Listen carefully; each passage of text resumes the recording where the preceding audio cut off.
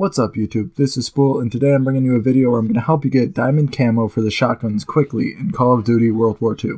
If you wanted tips for a specific shotgun, timestamps will be in the description below, so feel free to skip ahead to whichever shotgun you'd like. I personally really don't like using shotguns, so at times I found this to be a little frustrating, but I did get it done rather quickly. For all the shotguns, I did find it hard to get consistent one-shot one kills in core, which is needed for the first 8 camo challenges, so I do recommend playing hardcore for all of those.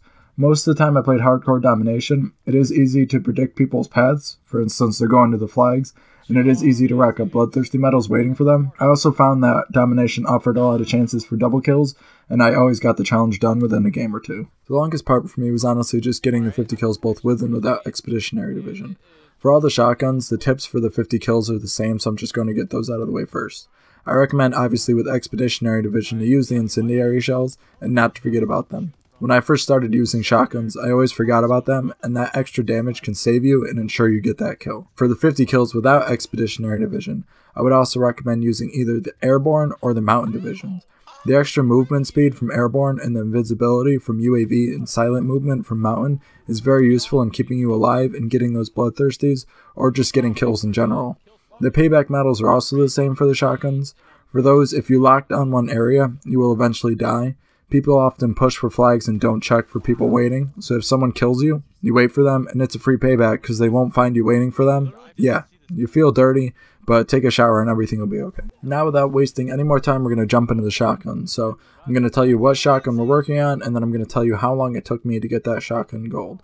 So first up, we have the combat shotgun. This took me 2 hours and 5 minutes. The attachments I used were for the most part rapid fire and advanced rifling. Advanced rifling makes it so your bullets travel farther, I also found that extended mags was useful for this gun.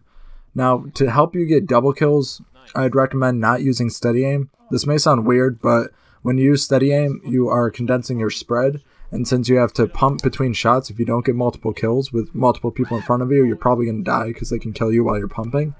Not having steady aim on means the spread will be wider, so you're more likely to hit both people. For bloodthirsties, if you do this in hardcore, play very passive. Let people come to you, play your life, and kill people when you get the chance. I have noticed that in hardcore people stick together better, so make sure if somebody runs in front of you, make sure they're alone and that their friend isn't right behind them, because you'll kill that person and then their teammate will take you out. Wait till both of them come by and then get a free double and two more kills for your bloodthirsty. Next up, we have the M30 Luftwaffe drilling. This took me 2 hours and 19 minutes. For the attachments, I took rapid fire and advanced rifling. Feel free to take steady aim instead of rapid fire. Rapid fire just makes it so you can shoot your second shot faster, but it does shoot before the gun recenters, so be ready to adjust your aim for that. Now jumping into double kills, this gun only has two shots. It is a double barrel and honestly that makes it a huge pain. The biggest thing for this gun is before you shoot your second shot to make sure it comes back to the center of your screen especially if you're using rapid fire. Either that or adjust your aim. There's nothing that sucks more than missing out on a double kill or dying because you shoot your second shot too fast. For the bloodthirsties, this gun I found to be very important with positioning. This gun also, along with the sawed-off, is very unforgiving. If you take your time between shots and hit the people in front of you, it's great, but the problem is that it takes what feels like a year to reload your next two bullets. When you hit your first two kills, I would back up, reload, and then push up again, and then repeat and that's how I got my bloodthirsties. It worked out well for me. I hope it works out well for you. The guns are honestly a huge pain, and I absolutely hated it, but you just gotta play smart and play well. Next up, we have the toggle shotgun at 1 hour and 55 minutes. In my opinion, this one is probably tied for the best shotgun along with the combat shotgun. This one has a consistent feeling to it, while the combat shotgun has a more consistent one shot. Now onto the attachments. Rapid fire and advanced rifling are mostly what I used. You could also use extended mags, which gives you 10 shots with this gun instead of 7.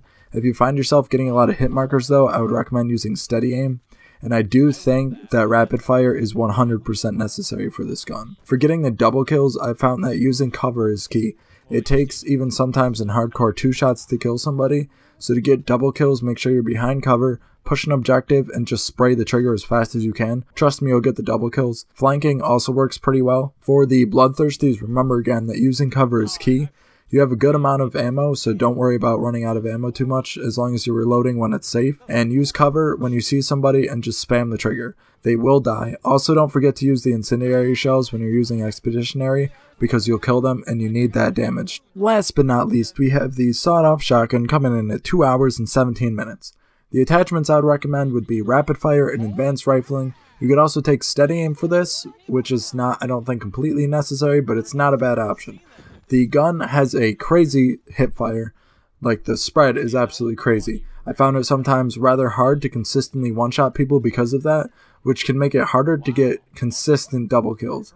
To get the double kills though, I would put on steady aim, which would help a lot. Uh, you still will have to throw out the second shot sometimes to finish off the first guy, so try to line up that collateral the best you can when you're shooting and moving around and strafing and everything. But you should have a better time getting the double kills with steady aim. For the bloodthirsties, this gun, as I just said, was sometimes inconsistent with one-shotting people.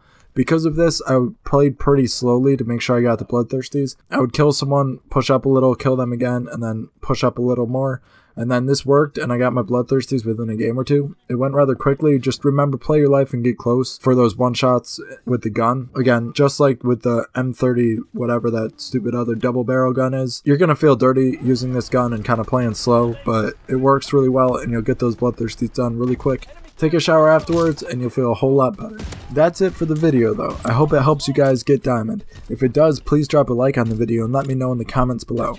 Also, if you have any tips to get diamond with the shotguns that I didn't mention, please leave them in the comments below to help out as well.